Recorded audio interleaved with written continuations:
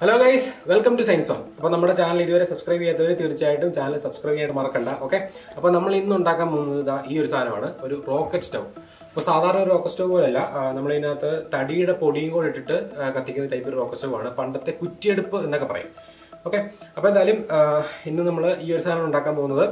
നമ്മൾ ഉണ്ടാക്കിയിരിക്കുന്ന ഫുള്ള് പെയിന്റിന്റെ ഇരുപത് ലിറ്റർ പെയിന്റിന്റെ ക്യാൻ വെച്ചാണ് ഉണ്ടാക്കിയിരിക്കുന്നത്. അപ്പോൾ നമുക്കിനി എങ്ങനെയാണ് ഈ ഒരു സാധനം ഉണ്ടാക്കുന്നത് നോക്കാം ഓക്കെ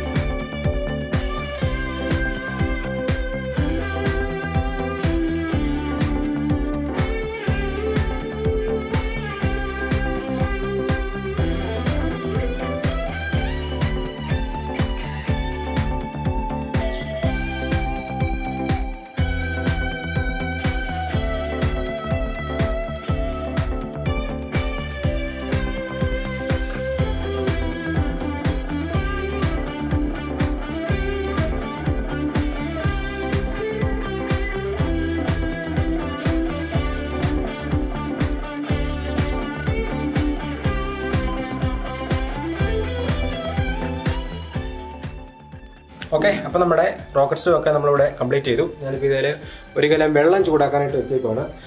ചെറിയ ഒരു രണ്ട് കഷ്ണം വറവ് കൊണ്ട് തന്നെ ഇതുപോലെ ഒരു കലം വെള്ളം ഇപ്പോൾ ഞാൻ ചൂടാക്കി എടുത്തുള്ളൂ. നല്ല അടിപൊളിയായിട്ട് കത്തുന്നുണ്ട്. ഫ്ലെയിം നല്ല ഏറെക്കുറെ ഇൻവിസിബിൾ ആയിട്ടുള്ള ഫ്ലെയിമാണ് ഒട്ടും ഒട്ടും തന്നെ പുകയില്ല നല്ല ക്ലീൻ ആയിട്ട് കത്തുന്നുണ്ട്. അപ്പോൾ മെയിനായിട്ട് കത്തുന്നത് നമ്മുടെ ഈ സോഡസ്റ്റ് ആണ്. അതുകൊണ്ടാണ് തീരെ കുറച്ച് മാത്രം ഇനി വിറക് വെച്ചാൽ മതി.